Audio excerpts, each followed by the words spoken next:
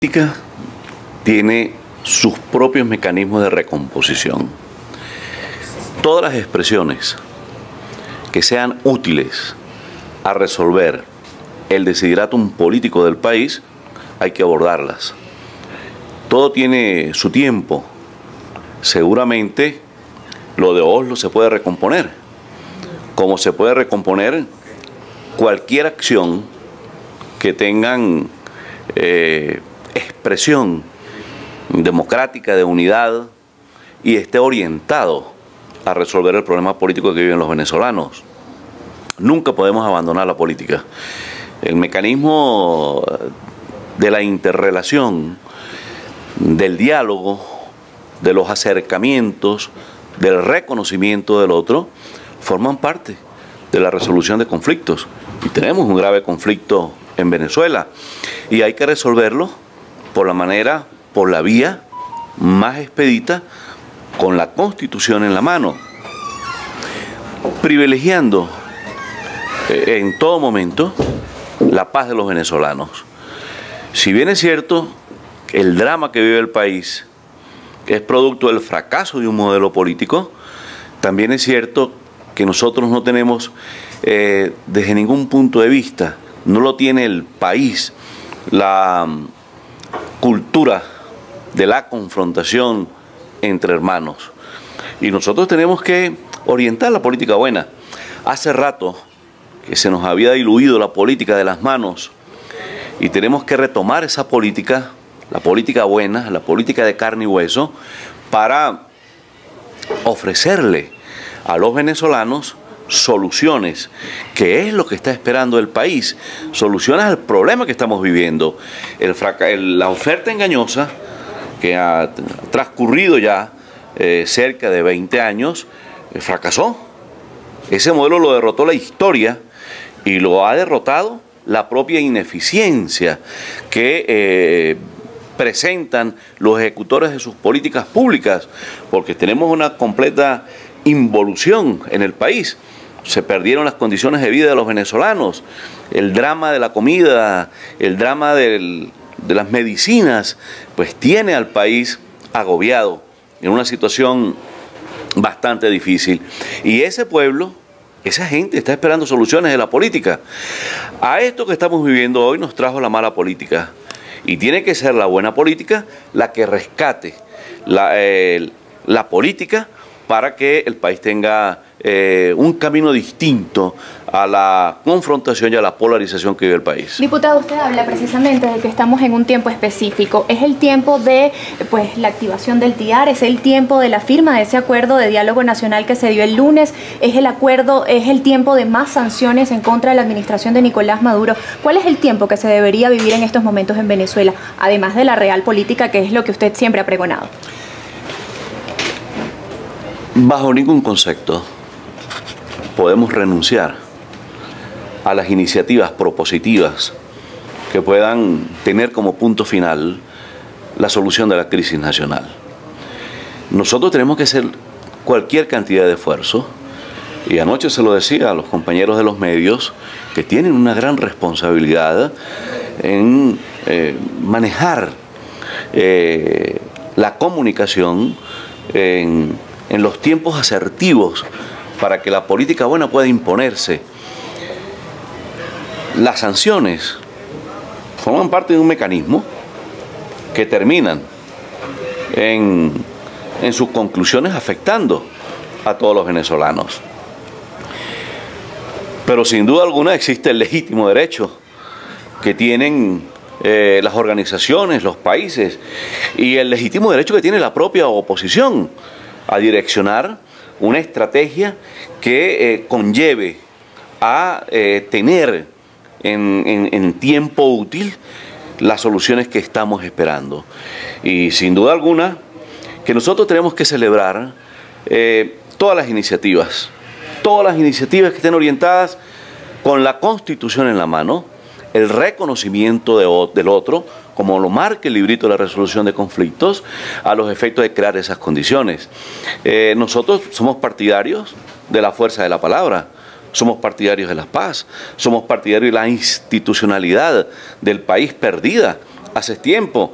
Eh, si hacemos una valoración de los años de la alternancia en el poder versus estos 20 años que han transcurrido, pues el país ha tenido un retroceso abismal y eso tiene eh, a nuestro pueblo en una situación bastante conflictiva y muy difícil. ¿Es partidario de este acuerdo nacional? Yo soy partidario de todos los acuerdos que se puedan realizar en el país. Hay que tratar de involucrar a todos los actores políticos del país. Esto no puede ser eh, eh, la expresión de, de un actor político o de una organización. Debe ser la expresión de la colectividad nacional y en eso tenemos que trabajar. Las acciones que se han tomado ahora forman parte de una iniciativa que estamos obligados a valorarla y que em, empieza a mostrar de alguna manera eh, resultados. Bueno, vamos a ir valorando. Nosotros tenemos la obligación, y así lo conversaba anoche con el presidente del Parlamento, el compañero Juan, tenemos que buscar los mecanismos que nos permitan integrar todas estas expresiones en un solo cuerpo para que monolíticamente se ataque el fracaso del modelo y se creen las condiciones políticas para los cambios necesarios que necesita el país. Diputado, pero muchos políticos consideran que ese, ese acuerdo es como una salida por los caminos verdes por parte mm. del, gobierno nacional debido a que en Oslo ya había un proceso de negociaciones. ¿Cómo valora usted este proceso de negociación firmado el pasado lunes? Bueno, tendríamos que hacer una hilación histórica de todas las expresiones que se han eh, manifestado en el país eh, en los últimos 20 años. Nosotros tenemos eh, la iniciativa, la hemos vivido, la hemos palpado, eh, de buena voluntad, porque para esto se necesita voluntad política y democrática. Y esa buena voluntad ha, digamos, sido torpedeada por la falta de voluntad del otro. Entonces, en este caso, tenemos que construir los argumentos, el discurso necesario para establecer el mecanismo de comunicación y en consecuencia tengamos eh, al final del tema lo que está esperando el país. Yo no voy a entrar en valoraciones si una iniciativa es mala o es buena, si la reconoce Pedro o Juan, porque eso no es lo que nos está pidiendo Venezuela. Si vamos a seguir en ese tema, pues entonces estaríamos autoflagelándonos de manera permanente. Y lo que tenemos es que buscar cómo resolver, no cómo complicar la política, cómo resolver con la política. y eso que se está La Asamblea Nacional ratificaba la hoja de ruta establecida por Juan Guaidó. De hecho, en medio del debate participó José Antonio España, el parlamentario de Cambiemos, eh, pues eh, invitando a la oposición venezolana a sentarse en una mesa de diálogo mucho más amplia. A mí me gustaría conocer su, su impresión acerca de esto que propone José Antonio España y también si usted continúa apoyando y ratificando esta hoja de ruta planteada por Juan Guaidó, el cese de la usurpación, elecciones libres y gobierno de transición. ¿Se considera que hay que cambiar la estrategia en ese sentido? Mira, no estoy divorciado del proyecto político que se presentó en enero de este año con la presidencia de Juan en el Parlamento, directiva Quintero junto con el compañero Stalin González. Eh, desde hace cerca de dos años, nosotros iniciamos las conversaciones con la Embajada de Suecia en Bogotá, buscando precisamente orientar la recomposición política venezolana. Hemos estado participando en todas las iniciativas y hay que buscar la manera de integrarnos a todas las iniciativas. Lo lógico es que monolíticamente tengamos una expresión, pero no podemos castigar las expresiones que se presentan, que se manifiestan y que eh, forman parte de un ejercicio democrático. Nosotros eh, tenemos que con los actos, eh, valorizar lo que conceptualizamos y lo que tenemos como programa político. Nosotros no podemos llegar eh, con el tema de pasar de perseguidos a perseguidores. Eso no es una solución. Nosotros no podemos, en consecuencia, tener eh, valoraciones que autoflagelen cualquier iniciativa que se presente en el país. Para mí todas son útiles. ¿Y si estaría dispuesto a sentarse, por ejemplo, con Timoteo Zambrano, Claudio Fermín y este, este grupo de partidos que firmaron este acuerdo que se hacen llamar oposición moderada? ¿Estaría usted de acuerdo con formar parte de ese diálogo amplio? Mira,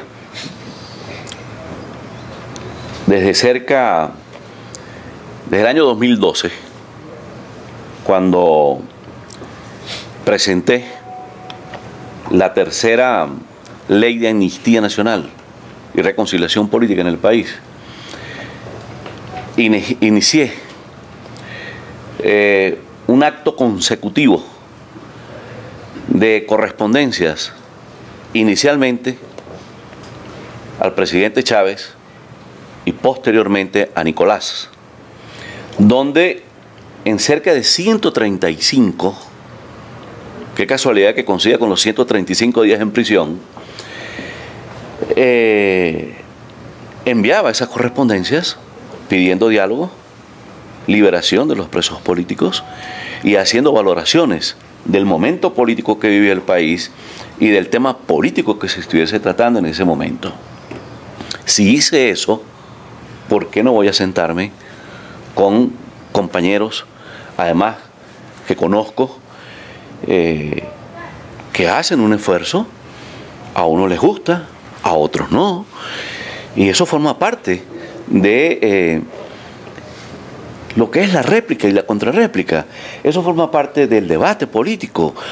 Ahora, sin duda alguna, que eh, yo sigo insistiendo, en que debe concretarse un espectro político más amplio, donde estén integradas todas las fuerzas políticas del país, donde esté integrado el Parlamento, las fuerzas vivas de la sociedad venezolana, que tienen igualmente un peso muy importante en la eh, solución del grave problema que vive Venezuela. Hablar con Claudio, hablar con Timoteo, es eh, hablar con unos venezolanos, como he hablado con distintos venezolanos que tienen iniciativas y que hay que valorarlas y administrarlas. Eh, eso en, una parte. La otra parte también tenemos que eh, hacer todos los esfuerzos para que se reavive el, el grupo de Oslo porque todas estas ah, apuestas que hace Venezuela por la paz, tenemos que seguirlas construyendo porque estamos obligados a construir la paz. Nosotros no podemos como políticos, en mi caso yo soy un político de oficio, sé hacer la política, me gusta hacer la política, tengo mis contrarios, pero no son mis enemigos. Son los contrarios de la política con los que aspiro debatir, con los que aspiro intercambiar ideas y con los que aspiro de alguna manera conseguir un camino para Venezuela. Debatiría con Timoteo Zambrano y con Felipe Mujica sobre lo dicho ayer, como por ejemplo que el CNE, eh, si no había acuerdo para elegir el CNE, lo debía nombrar el TSJ y por ejemplo que el CNE no necesitaba una reestructuración completa. Si revisamos el contexto histórico, sobre todo del continente, y nos vamos a la experiencia de Chile, podemos determinar que en tiempo y espacio de una democracia que se revitalice, el mecanismo ideal es la institución del voto. Y nosotros tenemos que hacer de la institución del voto la apología de la democracia y es el voto es el ciudadano al que debemos consultar. En Chile, la resistencia chilena hizo distintas concesiones a quien en ese momento usurpaba el poder. Y fueron muy criticados, pero al final se impuso la voz del pueblo y hoy tenemos un Chile ya con un desencadenamiento de sucesiones presidenciales, con una economía bollante. Allá tenemos muchos compatriotas venezolanos que se fueron buscando lo que le negó la política mala y el fracaso del modelo político que vive el país. Entonces nosotros tenemos la obligación de que sea la política la que marque el camino. Yo no voy en ningún momento, no es lo que creo de la política, a entrar en dimes y diretes con compañeros de la oposición. Eso no lo voy a hacer. Eh, yo no me puedo invalidar frente a los actores de la oposición y no me puedo invalidar frente a lo que he hecho durante toda mi vida, que es la defensa de los derechos eh, políticos, las garantías constitucionales, los derechos humanos. Entonces, como tengo el propósito de seguir construyendo esos caminos, como te decía anteriormente, no me he divorciado de la política nacional ni de los proyectos que eh, incluso me llevaron a prisión. Porque cuando voy a prisión, no solamente eh, fui secuestrado acá mismo, cerca del partido, por personas sin identificación y sin una orden de eh, los operadores de justicia, en este caso de un tribunal de la República, se me violó de manera flagrante, pública y notoria mi inmunidad parlamentaria, que es una institución universal de las democracias eh, en el mundo. E igualmente, nosotros tenemos que eh, ser fieles defensores de las instituciones de los partidos políticos. Ningún país en el mundo funciona sin los partidos políticos. Y aquí la antipolítica se orientó a debilitar las bases de la democracia en Venezuela, atacando los partidos políticos y el liderazgo de esos partidos políticos. En una democracia muy joven, sumamente joven, en una democracia que se había convertido en la niña bonita del continente, era el país deseado por eh, los coterráneos de otros países de nuestro continente y de la Europa. Y esos venezolanos, que hoy son en la mayoría eh, colombianos, chilenos, ecuatorianos, peruanos, españoles, americanos, portugueses, nos ayudaron a construir el país. Hoy necesitamos la llegada de esos muchachos y muchachas que se fueron de Venezuela buscando lo que les negó la oferta engañosa y el fracaso del modelo político, buscando mejores condiciones de vida. Y a ellos tenemos que regresarlos al país con un nuevo modelo político, con un nuevo proyecto nacional que los integre en el rescate del desarrollo, del crecimiento. Tenemos una moneda inútil para el intercambio comercial. Si la economía no funciona, tienes un efecto dominó sobre la arquitectura aguas abajo de la sociedad venezolana. Y tenemos que hacer que funcione la economía para que funcione el país y para que Venezuela vuelva a ser un país con expectativas para los que están afuera, con expectativas para los que vienen a ayudarnos a construir la Venezuela que estamos obligados a recuperar. Diputado, sus cuatro acompañantes, ¿qué información tiene de ellos? ¿Podrían salir en las próximas horas? ¿O esperamos, información de otros presos que salir? Esperamos que salgan en las próximas horas. Eh, los abogados están ahora en el tribunal, estoy esperando la información. Eh, deberían estar en este momento ya en libertad. Eh, tengo entendido, de acuerdo a lo que me han informado, lo poco que he podido nutrirme de información, en el transcurso de la mañana y parte de anoche que existe una lista de cerca de 58 eh, venezolanos que están privados de libertad. Una democracia no puede tener prisioneros políticos. Una democracia es para el debate, es para la construcción de ideas, es para eh, hacer del país un país competitivo frente a otras naciones y en consecuencia tener una sociedad de hombres y mujeres para el trabajo, y para la formación de ese, de ese país. Nosotros tenemos esa obligación y ese mandato, el mandato que nos dan nuestros electores. Eh, en primer lugar, la defensa de la Constitución. En segundo lugar, la defensa de los derechos humanos, de hacer valer las garantías y, derechos constitucionales. Eh, yo tengo eh, el propósito, y lo he tenido toda mi vida, de defender la libertad y defender la vida. Y ustedes me han visto de manera permanente en el Parlamento Nacional, como lo voy a seguir haciendo en cada sesión, pidiendo la libertad de los presos políticos, civiles y militares. Y, y creo que desde el punto de vista de los prisioneros militares, el gobierno debía valorar em, lo que hizo Rafael Caldera cuando liberó a aquellos que en el 2000, en el año 92, el 4 de febrero y el 27N, atentaron contra un gobierno legítimamente electo por el pueblo. Y Caldera les brindó todas las posibilidades de integrarse a la vida política a aquellos militares que quisieron hacer política, como fue el caso de Hugo Chávez. En ese momento estábamos en democracia, diputado. Eh. ¿Usted cree que todavía hay democracia en este país? Es que es, un mecanismo de solución. Le estamos dando un consejo al gobierno. Le estamos diciendo al gobierno cómo puede resolver el tema de los militares presos y cómo puede resolver el tema de los políticos presos, de los, de los compañeros que están en prisión por expresar uh, una idea por disentir de las políticas del gobierno eh, y eso es válido.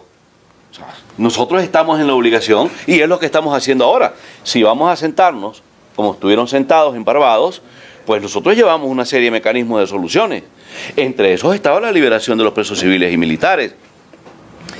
No podemos seguir con aquel tema de que, no nos reunimos con, con fulano, que no nos reunimos con X, cuando en verdad y es público y notorio, nos estamos reuniendo. Se han estado reuniendo. Ah, que no, no ha existido el mecanismo eh, propositivo para que eso tenga asertividad en el tiempo político, eso es una verdad. Pero tenemos que hacer que esa política buena se imponga, que se imponga la política de carne y hueso. Y nosotros tenemos una gran responsabilidad. Y desde el punto de vista de mi organización política, de mi partido Acción Democrática, del cual soy eh, vicepresidente, ahora que está llegando el compañero Henry Ramos, es el jefe del partido, nosotros tenemos eh, el mandato de nuestras bases de construir los caminos para que Venezuela tenga una salida pacífica. Y tenemos que valorar todas las opciones, menos la violencia. La recuperación de la constitución, la recuperación del tiempo útil de la política y la recuperación de la confianza de los venezolanos. Diputado, ¿y su liberación fue una victoria de quién? Porque Juan Guaidó decía en un tuit que su liberación era una victoria de la presión internacional, de la presión social, y pues el gobierno o la administración de Nicolás Maduro pudiera hacerse eh, con su liberación tal vez una bandera. ¿Participó también el grupo de Boston en su liberación? Porque vimos también a Francisco Torrealba allí. La, la única bandera que yo eh, blandié en mi prisión fue la bandera de mi partido, de Acción Democrática. Yo no puedo entrar en, ningún ejercicio donde eh, desmeritemos a otro, cuando la función es regresarlos y que formen parte de la voz altisonante de la democracia venezolana. A mí, eh, de la prisión, me rescató mi familia. Me rescató mi partido, me rescató la Asamblea Nacional, me rescataron los países, los cancilleres y presidentes que eh, interactuaron con mi familia para lograr mi libertad. Yo no puedo eh, desmeritar el esfuerzo y la compaginación de otros actores de la política nacional. Bienvenidas, bienvenidas todas esas acciones, pero no descansemos el peso de mi liberación, de la liberación de todos los presos políticos que deben salir de la cárcel, civiles y militares, de la liberación del conjunto de compañeros que deben estar saliendo hoy, entre ellos mis cuatro compañeros que fueron eh, injustamente, criminalmente mantenidos en prisión durante 136 días. Y eso eh, no podemos ni celebrarlo ni aplaudirlo. Todo lo que esté orientado a conseguir la libertad de un ser humano, que está sufriendo los rigores de la prisión, de una familia que sufre los rigores de ese familiar, porque la familia sufre, sufren sus amigos, sufren los compañeros. Todo eso hay que evitarlo. De manera que mi liberación es una obra del ejercicio democrático, del ejercicio de, eh, los países que coadyuvaron, de, de las diligencias que hicieron mi partido, mi familia, el Parlamento Nacional, lo que hizo el Frente eh, Amplio, lo que, lo que, lo que ha hecho eh, los actores de la democracia venezolana, de manera que no nos castiguemos señalando un benefactor o otro. Fue la política, porque allá me llevó la política mala y es la política buena la que tiene que rescatar a todos los presos políticos en Venezuela. La diputada Denis Fernández hablaba de ocho liberaciones para el día de hoy. Usted habla de 58 eh, presos políticos que podrían ser liberados en los próximos días. ¿Maneja algún tipo de nombres, algún tipo de lista? No, todavía no, no tengo acceso a, ni a listas ni a nombres. Espero, voy a reunirme ahora con mi jefe político, eh, terminar de documentarme sobre cuáles son los planteamientos que se vienen haciendo desde el Grupo de Oslo, desde las iniciativas del Parlamento, todas estas cosas que han venido eh, sucediendo en cadena. Bueno, eh, tengo que documentarme. Ojalá no fueran 58, sino todos los presos políticos, civiles y militares, porque una democracia no puede darse el lujo de tener un preso de conciencia que son los presos políticos. Diputado, próximos planes, ya retoma su actividad política, ¿qué va a hacer en los próximos días? Lo que he hecho toda mi vida, el oficio de la política. Tengo mi profesión, he sido un trabajador de la política desde muy joven, me crié en este partido, en este partido se criaron mis hijas y salir a trabajar lo que sé hacer, lo que me gusta hacer, lo que me apasiona, que es, es la política. Y yo no voy a cambiar absolutamente un ápice de lo que hacía hasta el 8 de, de mayo y hasta ayer que abandoné las mazmorras donde me tenían secuestrado. ¿Va a recorrer el país? Sí, yo soy un hombre de credo, como hijo de Dios, tenía allí la compañía de Dios, la fe, la oración, que la hacíamos en, comunión, los tres prisioneros que estaban allí en esa cárcel. Ahora quedaron dos, el mayor general Miguel Rodríguez Torres y el general en jefe Raúl Isaías Baduel. Eh, voy a iniciar, voy a plantearle ahora a mi partido, voy a plantear a, toda la policromía política de la oposición una serie de, de caminatas de oración y fe por la paz en Venezuela y la libertad de los presos políticos. Como dije anoche, en mi última sesión en el Parlamento, antes de ir al secuestro, donde te, tratan y te mantienen en cautiverio sin tener acceso a ninguna de las eh, eh, valoraciones que establece el Código Penal venezolano, mis abogados pudieron juramentarse a los 129 días, eh, lo que es a todas luces una arbitrariedad. Entonces vamos a recorrer el país caminando con nuestro pueblo y vamos a concluir esas caminatas de manera eh, permanente en una oración, en una iglesia y, en todos los credos, porque tenemos el mandato y la obligación de hacer de la democracia un ejercicio amplio. Yo soy un hombre católico, mi familia me crió en ese credo y eh, pues, lo voy a seguir hasta el, último aliento eh, de mi vida. Y tengo que darle gracias a las distintas iglesias, especialmente a la Iglesia Católica, a la Conferencia Episcopal, al Nuncio Apostólico, que tuvieron una actividad bastante significativa en mi liberación. Y todas esas cosas tenemos que recapitularlas para la democracia, para la política buena. Diputado, estando bueno, el solo, el, solo hecho de estar en prisión, incomunicado, aislado, ausente del mundo, ya eso es una flagelación, es un acto criminal. Uno de los delitos más abominables o el más abominable que hay es el secuestro. es el secuestro y eso tenemos que evitarlo a toda costa. Y para evitarlo tenemos que rescatar, repito, la política y hacer de la política el instrumento de los venezolanos y desechar cualquier mecanismo de violencia que no sea la política. Diputado, ¿y qué le ¿Tiene dice información aquella? sobre las nuevas liberaciones? Usted hablaba ayer de que tenía No. conocimiento de que al menos 58 el día de hoy se pudiese producir. No, no, no, no, no conozco hasta ahora. No sé si Henry tendrá alguna información.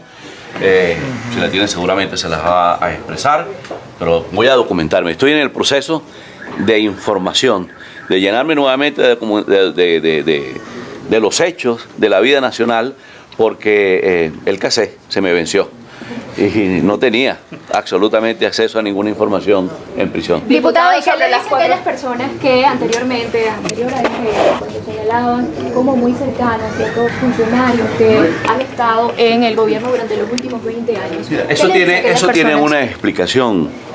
Eh, así como la antipolítica nos hizo mucho daño, los radicalismos en extremis también nos han hecho muchísimo daño.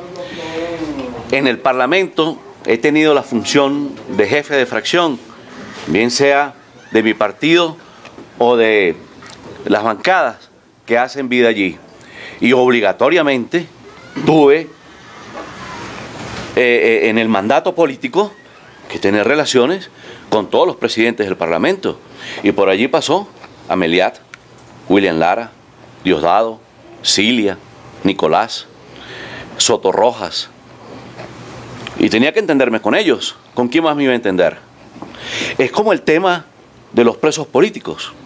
¿A dónde vas a acudir para buscar la liberación de un preso? Tienes que acudir a quienes tienen las llaves de la prisión, a, que- a a quienes tienen el mecanismo para poder liberar a un prisionero. Yo si voy a buscar la liberación de un prisionero, no voy a buscar a mi compañero Henry Ramos. Henry, libérame un preso. No, porque contrariamente Henry Ramos apoya la política de, hacer todos los esfuerzos necesarios para buscar la liberación de los presos políticos. Entonces, esa, esa, esa conseja destinada a hacer daño, ese mecanismo de extorsión que se mantuvo con los partidos políticos, si decíamos algo contrario a una minoría, que es la negación de la democracia, eh, la, la- la regla de oro de la democracia es la mayoría. Entonces, eh, ¿cómo vamos a dejar que eh, se imponga una política que no tiene respaldo popular, que no tiene respaldo nacional? Tenemos que buscar la política que coadyuve a resolver a resolver los problemas del país y nosotros de Gestión Democrática tenemos ese compromiso con Venezuela. Diputado, ¿qué pasó por su mente en el momento en el que estaba en la camioneta y sabía que la grúa se lo iba a llevar? un preso más, una, un atropello más a la democracia y un atropello a mi partido. Yo soy vice- vicepresidente nacional de este partido y mm, yo me siento muy orgulloso de formar parte de una organización política. Los partidos políticos en las democracias modernas son el sustento de esas democracias y de esos gobiernos. Acá, contrariamente, han pretendido desaparecer los partidos eh, esos radicalismos en extremis y, y- y desaparecerlos con la conseja de un partido único en un radicalismo y en el otro de imponer una minoría sobre las mayorías. Bueno, eso no podemos permitirlo porque eso no, eso es lo que tiene el país complicado, eso es lo que tiene este, este, este desiderato entrancado y tenemos que desatar ese nudo gordiano. Y en eso está Acción Democrática y a eso me incorporo yo que es la política que viene haciendo mi partido eh, eh, desde hace mucho tiempo. Nosotros tenemos que, ahora que vamos a caminar por Venezuela, eh, pero aparte de caminar por Venezuela, vamos a hacer los actos eh, de la política, los actos políticos. Y tenemos que eh, eh, desarrollar el sentido de pertenencia por la democracia y por sus organizaciones políticas. No podemos eh, seguirle negando a los jóvenes que escondan las banderas de su ideología, que escondan el color de la camisa que quieran. Bienvenidas las amarillas y negros de PJ, bienvenidas las naranjas de voluntad, bienvenidas las azules de nuevo tiempo, de todos los partidos políticos, pero bienvenidas las de Acción Democrática. Diputada, estamos en vivo ahorita para Vivoplay TV Venezuela. Quisiera saber eh, su posición sobre el acuerdo firmado el día lunes en Casa Amarilla. Eh, el día de hoy, pues entendemos que se estaría llevando a cabo otra reunión para este nuevo proceso de eh, liberaciones. ¿Estaría de acuerdo Edgar Zambrano con que continúe esta mesa de diálogo o respalda la ruta establecida por el presidente encargado Juan Guaidó? Todas las rutas que conduzcan a la paz en Venezuela. Todas. Todos los caminos que conduzcan a la paz en Venezuela. Y allí es donde tenemos que hacer el esfuerzo de conciliar a todos los factores de la policromía política del país y eh, tener un discurso monolítico, de tener un discurso que compren los venezolanos, enamorar al país de un discurso para que el país pueda respaldar las propuestas que está haciendo la oposición.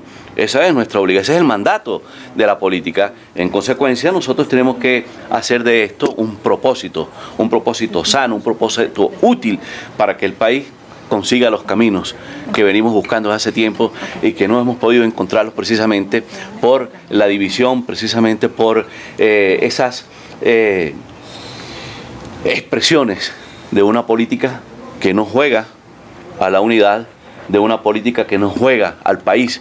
Tenemos que ese venezolano y esa venezolana que hoy está sufriendo, que hoy, que no tiene alimentos en su casa, que no tiene las medicinas en sus enfermos, a esos venezolanos hay que darle soluciones.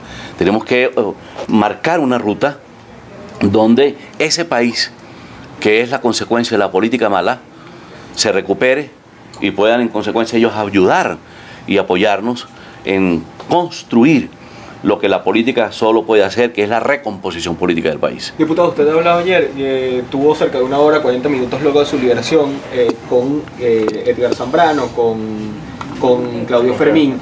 ¿Qué le dijeron? ¿Qué le, qué le plantearon durante este tiempo tras este acuerdo que se firmó el lunes? ¿Qué, ¿Cuál es la posición? Yo, yo no conozco el alcance de los acuerdos. Voy a reunirme con ellos. Tengo la, eh, la obligación de hacer mi trabajo político. Y así como voy a esperar los lineamientos de mi partido, voy a reunirme con Juan, voy a reunirme con Manuel Rosales, voy a reunirme con eh, todos los factores que de alguna manera coadyuvaron a hacer un esfuerzo por mi liberación. Pero no voy a, opinar sobre lo que no conozco. Eh, escasamente nos saludamos, intercambiamos algunas opiniones y yo los invité hacer un esfuerzo de unidad nacional, hacer un esfuerzo para rescatar eh, las iniciativas de eh, los factores foráneos, por ejemplo, por ejemplo como el Grupo de Oslo, que eh, está asociado también a las iniciativas de la Unión Europea, del gobierno español, de otros gobiernos. Todas esas cosas tenemos que administrarlas con la voluntad política que debe expresar la propia política para recomponerse. De manera que luego de que tenga la información de mi partido y que tenga la información del presidente del Parlamento, compañero Juan, y de las otras organizaciones políticas y también la información acabada de eh, lo que están trabajando, tanto Timoteo como Claudio y otros compañeros, pues entonces tendré eh, una opinión formada que eh, con toda seguridad va a ser la opinión que tiene mi partido. Diputado, decía usted el día de ayer que usted lideraba y había estudiado incluso tres leyes de amnistía. Después de su detención, eh, ¿considera que esta ley de amnistía todavía es posible para eh, los eh, militares de la Fuerza Armada Nacional que se sumen a la restitución de la democracia en Venezuela? Bueno, ya hemos dicho que el, el gobierno debería implementar la política de Caldera cuando liberó a los militares que eh, con las armas atentaron contra un gobierno legítimamente electo por el pueblo. Y esa política dio resultado. Esa política consistía en visitar a los militares, ofrecerles lo que se les ofreció y eh, tener la libertad. Ese mecanismo dio resultado. ¿Por qué no puede darlo ahora? Solo que para las iniciativas políticas se necesita voluntad, sobre todo voluntad democrática y el reconocimiento del otro. Y para tener esa voluntad es necesario querer mucho a Venezuela y no permitir que Venezuela siga por donde va. Y eso es una responsabilidad de los políticos. ¿Ya fueron liberadas las cuatro personas que se encontraban detenidas con usted? No, no sé todavía, voy a hablar con los abogados ahora, deben estar en tribunales. Ojalá, porque esos muchachos también fueron injustamente sometidos a una prisión, a un secuestro, y hemos dicho que el secuestro es el delito más abominable que existe en la humanidad. ¿Ya conoce cuáles son las medidas cautelares que le, que le impusieron a usted para su liberación? Sus abogados indicaban que hoy iban a acudir al en, tribunal. a primer, en primer lugar, yo no he cometido ningún delito. Yo hice un ejercicio eh, de democracia, soy un demócrata, no he atentado contra nadie, no soy ni terrorista, ni narcotraficante, nada de eso. Soy un hombre de la política, no he cometido ningún, ningún delito, no tenía por qué estar preso. Yo estuve secuestrado, no detenido, no preso. Y como no he cometido ningún delito, yo espero que no tenga ninguna medida. Sin embargo, el primer anuncio hablaba de medidas cautelares que habían sido cambiadas por esa, eh, dicho, que había sido cambiada la reclusión por medidas cautelares. No, no desconozco de eso. Mis abogados están en el tribunal en este momento. Yo desconozco que haya decidido el tribunal de la causa. Espero que los operadores de justicia sean operadores de justicia y tengamos autonomía en la justicia venezolana para que el fin último de cualquier proceso judicial, que es la solución o la condena, se dé en términos de democracia, de justicia, y no sigamos con una justicia secuestrada que no permite el legítimo derecho a la defensa y el debido proceso. ¿Cree que puede avanzar esta iniciativa de los cuatro partidos minoritarios sin representatividad, que además desestiman la representatividad? Hay que hacer los esfuerzos para que eh, los políticos, los partidos en Venezuela se asocien en un solo propósito. Y este partido, mi partido con 78 años de historia, tiene mucho que eh, hacer en este sentido. Nosotros, cuando nacimos a la política venezolana, muchos de nuestros compañeros arrastraron en sus pies los grillos de Gómez. Luego fuimos víctimas de las balas de Pérez Jiménez. Y ese legado que luego se dio con la alternancia en el poder y que permitió la bienvenida de Venezuela a la modernidad, salimos de la ruralidad y esa alternancia en el poder permitió un país distinto al que tenemos hoy. Entonces nosotros, como acción democrática, tenemos que ofrecerle mucho a Venezuela. Eh, muchos de nuestros hombres se quedaron sembrados en el camino, producto de la dictadura prejimenista y la dictadura comecista. Muchos compañeros nuestros, y muchos jóvenes, muchachas y muchachos, se quedaron en el camino reclamando democracia, justicia y libertad. Y tenemos que honrar la memoria del legado de nuestros fundadores, pero también la memoria de esos jóvenes que de manera altisonante, con el brío de la juventud, salieron a expresar su disconformidad con lo que está viviendo el país. Entonces nosotros tenemos un gran compromiso con Venezuela. Acción Democrática lo asume y lo hemos asumido con muchísima voluntad y tengan ustedes la seguridad que como lo hemos hecho en el pasado, eh, ser un factor de unidad, ser un factor donde nos integremos todos, pues ahora vamos a seguir con ese propósito porque esa es la política del partido. Diputado, algunos parlamentarios han propuesto que Juan Guaidó siga a cargo de la presidencia de la Asamblea Nacional de no lograrse el cambio político durante este año 2019. ¿Usted apoyaría esta propuesta? Me parece eh, genial que se le dé continuidad a un proceso político. Eh, no veo por qué no pueda Juan eh, ser nuevamente electo por eh, el Parlamento Nacional. Todo eso forma parte de la discusión que debe darse entre los factores de la oposición. Yo no conozco la posición ahora de mi partido, me documentaré en el transcurso de, un café más tarde con, Henry, pero tengan la seguridad que lo que decida mi partido, eso es lo que yo voy a apoyar. Se reunió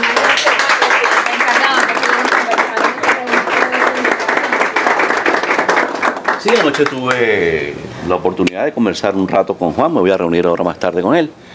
Eh, tenemos que hacer el esfuerzo que le permita al país retomar la política como factor de solución y no de disociación, de solución.